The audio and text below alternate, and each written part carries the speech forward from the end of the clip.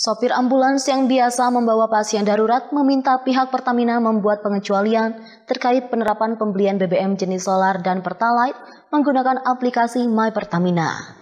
Pasalnya, para sopir selalu kelabakan saat mengisi BBM lantaran harus tetap mengantre, sementara mereka sedang membawa pasien yang harus segera dirujuk ke rumah sakit lain.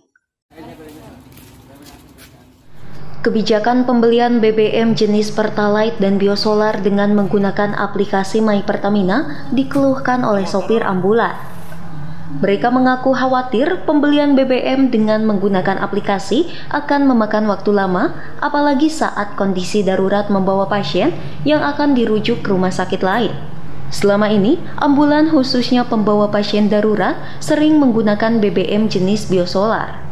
Sebelum memakai aplikasi My Pertamina pun, sopir ambulan tetap ikut mengantre saat mengisi BBM jenis biosolar.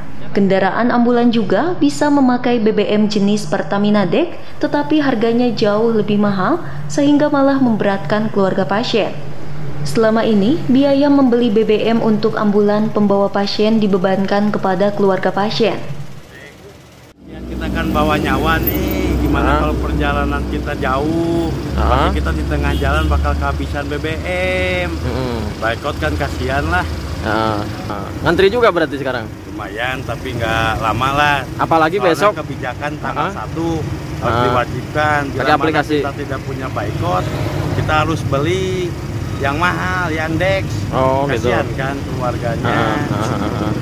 jadi akan harapannya khusus ambulan di pengecualian kayak gitu. ya Oh, diprioritaskan juga berarti ya. Iya. Oke, oke.